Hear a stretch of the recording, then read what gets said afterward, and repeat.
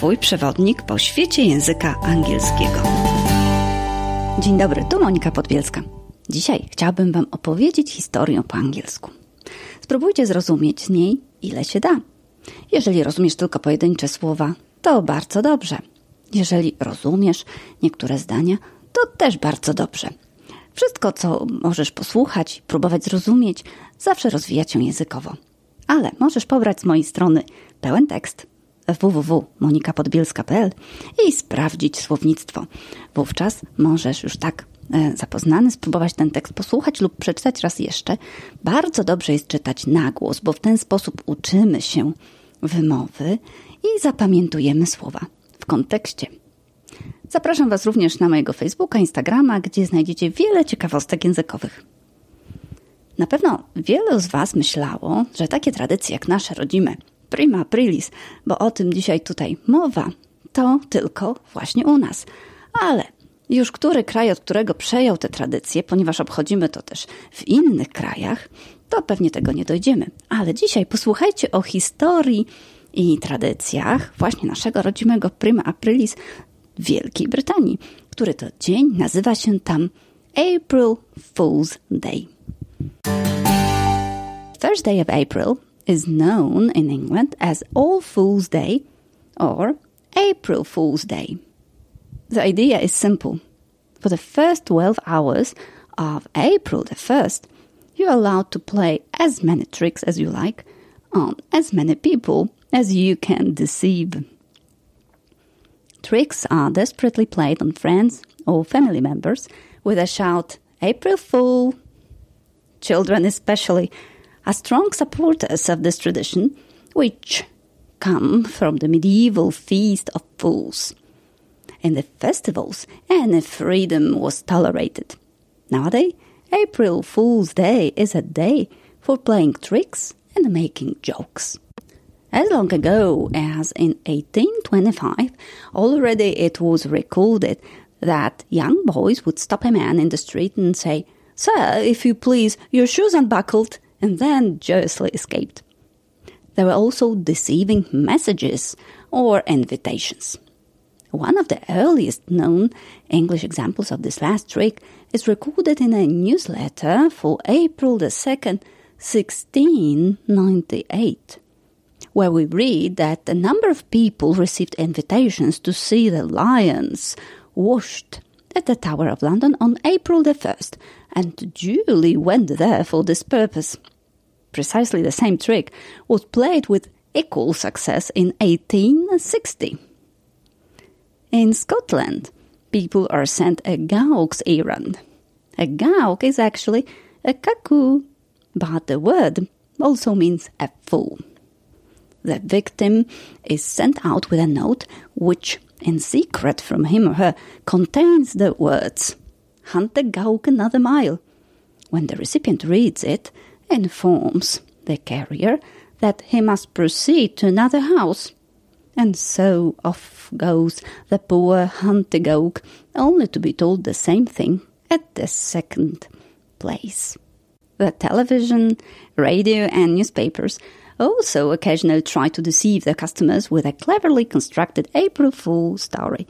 In one of them, for example, a BBC program did a 10 minute report about spaghetti trees in Switzerland. The reporter described how, with the recent bad weather, the trees weren't producing as much spaghetti as they normally did, and that this would make spaghetti more expensive. Another famous joke was played on the radio. A scientific correspondent reported that because of strange geographical conditions, gravity was getting weaker in different parts in Britain. He asked the people who were listening to the program to jump up and down. If they could jump higher than usual, they were asked to telephone BBC. In fact, BBC received hundreds of calls. One man said that he was so light that he could jump up to the ceiling. At midnight, BBC gently informed its listeners that it had been an April Fool trick. The Guardian newspaper did a 12 page special report on an island called San Serriffe. The island doesn't actually exist, but some readers didn't realize this. until some days later. And how did it all start? It was 1545 that a Norwegian scientist who was staying in London, where, as he had informed, was trying to find the secret of flying. King Henry VIII received a letter from Mr. Luf Lirpa, the Norwegian, in which he announced that he had finally solved the secret of flying. He asked the king to be present at a demonstration flight at Westminster on April the 1st. So, the king and the leading politicians of that day were standing outside the palace of Westminster on April the 1st and were waiting for Mr. Lirpa to arrive flying. But of course, nothing happened. But the day remained the tradition to play tricks on people on the day of April the 1st. Recent research shows that Mr. Lirpa wasn't playing tricks on the king, actually. He had learned how to fly in a machine, but the machine had crashed on the way to Westminster and he had died. It was a tragedy for science. If Luf Lirpa had demonstrated the flying secret, maybe we would have been flying an airplane much earlier. Unfortunately, the scientist hadn't left any notes or sketches, so his secret couldn't be discovered. Although most people in Britain haven't heard of Luf Lirpa, he is very famous in Norway.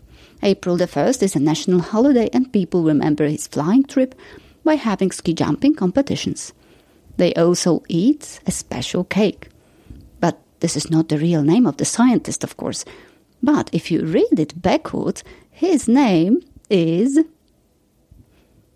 No, jak pobierzecie sobie tekst, to będziecie mogli sprawdzić jego prawdziwe imię i nazwisko i poznacie prawdę o tej historii.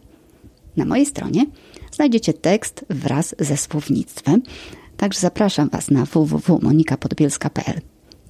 Tak jak zawsze, Wam to powtarzam, spróbuj zrozumieć ile możesz, a potem sprawdź nowe słowa i ucz się ich w kontekście. Dzięki temu łatwiej zapamiętasz i będziesz mógł używać ich w swoich własnych wypowiedziach. Możesz też przeczytać tekst na głos. Nie bójcie się, że coś źle wymawiacie. Próbuj, próbuj, a przyjdzie taki moment, że będzie coraz łatwiej. A jak będzie się łatwo czytało, to i będzie się łatwo mówiło. Zapraszam Was raz jeszcze na mój Instagram i Facebook, gdzie znajdziecie różne ciekawostki językowe.